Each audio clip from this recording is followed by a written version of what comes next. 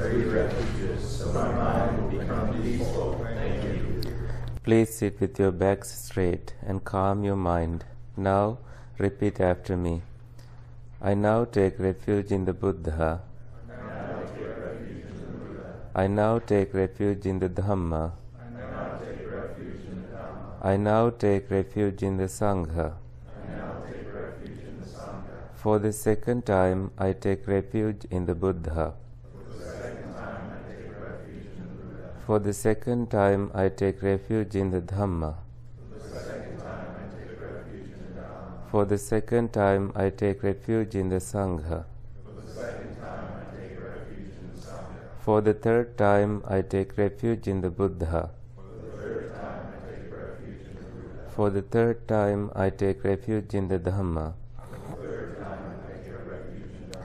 For the third time, I take refuge in the Sangha.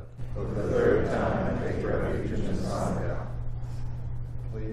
Please me the precepts so my retreat will be greater benefit and my mind will be peaceful. Thank you. Please clear your mind and pay close attention. Then repeat after me. I undertake to keep the precept to abstain from killing or harming living beings on purpose. I undertake to keep the precept to abstain from killing or harming living beings on purpose. I undertake to keep the precept to abstain from taking what is not given. I undertake to keep the precept to abstain from taking what is not given. I undertake to keep the precept to abstain from all sexual activity.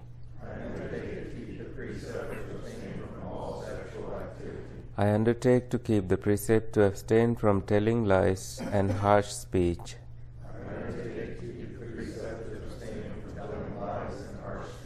I undertake to keep the precept to abstain from taking drugs and alcohol. I undertake to keep the precept to abstain from taking drugs and alcohol. I undertake to keep the precept to abstain from eating solid food after the noonday meal. I undertake to keep the precept to abstain from eating solid food after the noonday meal. I undertake to keep the precept to abstain from listening to music, singing, dancing, or beautifying my body with makeup, flowers, or perfumes. I undertake to keep the precept to abstain from listening to music, singing, dancing, or beautifying my body with makeup, flowers, or perfumes. I undertake to be loving and kind to myself and all living beings. I undertake to be loving and kind to myself and all living beings.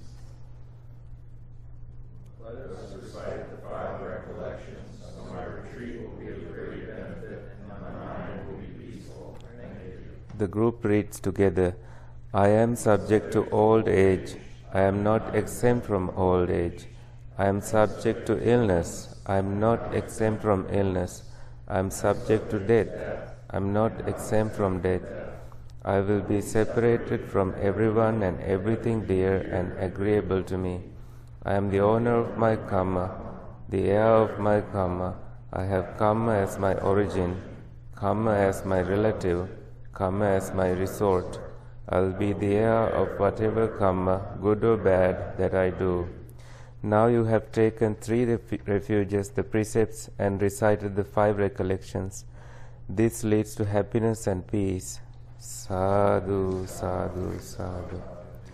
Now let us read the verses of the Dhammapada together. The group reads together. Mind is the forerunner of all evil states. Mind is chief. Mind made are they. If one speaks or acts with an unwholesome mind, because of that, suffering follows one, even as the wheel follows the hoof of the draft ox. Mind is the forerunner of all good states. Mind is chief. Mind are they. If one speaks or acts with a pure mind, because of that, happiness follows one, even as one's shadow that never leaves. He abused me, he beat me, he defeated me, he robbed me. In those who harbor such thoughts, hatred is not appeased. He abused me, he beat me, he defeated me, he robbed me. In those who do not harbor such thoughts, hatred is appeased. Hatred is never overcome by hatred in this world. Hatred is only overcome by love. This is an eternal law. In the unessential, we imagine the essential. In the essential, we see the unessential. Anyone who entertains such wrong thoughts never will realize the truth. What is essential, we regard as essential. What is unessential, we regard as unessential. Anyone who entertains such right thoughts will realize the truth. Here one develops a mind that rejoices now, and in the future one rejoices. In both states, the well doer rejoices. One who rejoices a lot will be able to see the purity of their own deeds, speech, and thoughts. When one is happy now, they will be happy in the future. In both states, the well doer is happy. Thinking I have done good in the past, one becomes happy and will easily experience a blissful state of mind.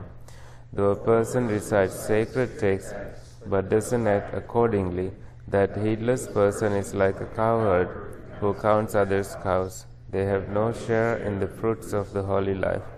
Though a person recites the sacred text very little, but acts in accordance with the teaching, they give up lust, hatred, and delusion.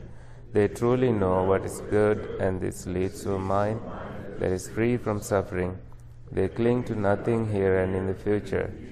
In this way, one shares the fruits of the holy life. සාදු සාදු සාදු.